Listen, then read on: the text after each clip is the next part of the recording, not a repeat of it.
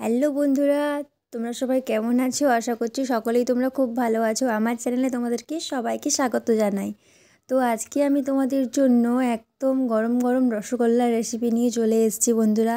তোমরা ভিডিওটা শেষ পর্যন্ত দেখো, আশা করছি তোমাদের সকলের খুব ভালো লাগবে। আর যে বন্ধুরা চ্যানেলটা এখনও আমার সাবস্ক্রাইব করনি, তারা প্লিজ তাড়াতাড়ি করে সাবস্ক্রাইব করে নাও বন্ধুরা, যাতে আমার ভিডিওগুলোর সব আপডেটস তোমরা পেয়ে যাও। তো প্লিজ তোমরা চ্যানেলটা একটু সাবস্ক্রাইব করে আমাকে একটু সাপোর্ট করো বন্ধুরা। আর বেশি বেশি করে শেয়ার করো ভিডিওগুলো তো দেখো, রসগোল্লা বানানোর জন্য নিয়েছি দুধ। এরপর দুধটা আমি ফাটিয়ে নেব। হালকা গরম করে এর মধ্যে আমি ভিনিগার একটু জল দিয়ে মিশিয়ে এর মধ্যে ঢেলে দিলাম। তো দেখো বন্ধুরা, ছানাটা কত সুন্দরভাবে তৈরি হয়ে গেছে। দেখো, তোমাদেরকে একটু দেখায় কত সুন্দর তৈরি হয়েছে ছানাটা। এই দেখো। এরপর আমি ছানার থেকে জলটা ঝরিয়ে নেব। তো দেখো পুরো জলটা একদম ছানার থেকে ঝরিয়ে নিয়েছি আমি। এরপর কি করতে হবে সেটা তোমাদেরকে দেখাচ্ছি। এটা খুব ভালোভাবে এরপর এটাকে মেখে নিতে হবে হাতের তালু দিয়ে। তো এইভাবে আমি ভালোভাবে মেখে নেব। একদম এইরকমভাবে মাখতে হবে। তো দেখো মাখা হয়ে গেছে। শেষে আমি এক চামচের মতো ময়দা দিয়ে দিলাম যাতে মিষ্টিটা ফেটে না যায়। একদম কম। এটা কিন্তু তোমরা না দিলেও পারো, কিন্তু দিয়ে দিবে যাতে ফেটে না যায়। দেখো, এরপর আমি মিষ্টিগুলো গোল গোল করে তৈরি করে নিয়েছি। তোমরা তোমাদের পছন্দ মতো সাইজে তৈরি করবে। এরপর দেখো সিরাটা বানানোর জন্য এক বাটি জল নিলাম।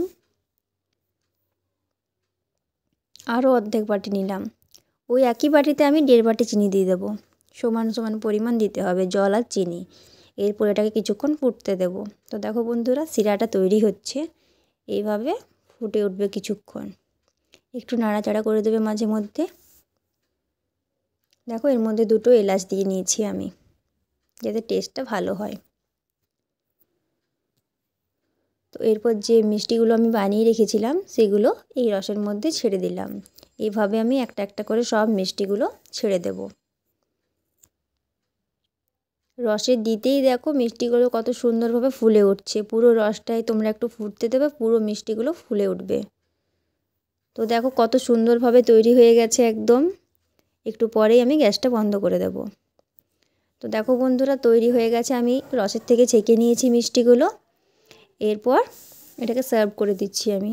দেখো কত সুন্দরভাবে তৈরি হয়ে গেছে আমাদের আজকের রসগোল্লার রেসিপিটা। তো তোমাদের রেসিপিটা কেমন লাগল অবশ্যই তোমরা আমাকে কমেন্টসের মাধ্যমে জানিও বন্ধুরা। আর তোমরা এই রেসিপিটা বাড়িতে অবশ্যই একবার ট্রাই করো। এটা কিন্তু খুব সহজ সরল পদ্ধতিতে তোমাদেরকে আমি বানিয়ে দেখালাম। তো তোমরা এটা সবাই বানাতে পারবে। তো প্লিজ তোমরা একবার ট্রাই করে আমাকে কমেন্টসের মাধ্যমে জানাও যে কেমন লাগল।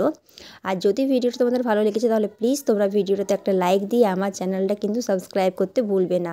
আর তোমরা অবশ্যই চ্যানেলটা সাবস্ক্রাইব করার পর পাশে থাকা বেল আইকনটা প্রেস করবে যাতে তোমরা আমার ভিডিও সব আপডেটস তাড়াতাড়ি করে পেতে পারো।